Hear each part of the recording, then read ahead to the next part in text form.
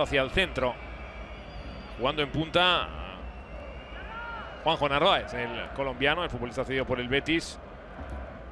Ojo el balón ahí. El toque. ¡Gol!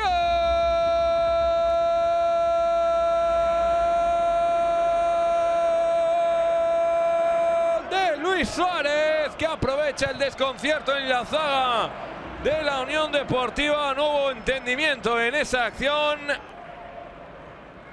Y el balón que acaba entrando en la red después de que el más listo de la clase se diese cuenta de lo que sucedía y lo aprovechó a las mil maravillas para convertir el primero del partido.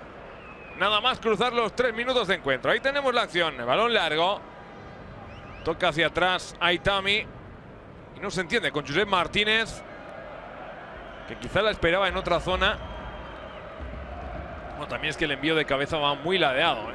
Va muy ladeado y eso lo aprovecha perfectamente Luis Suárez para... ah,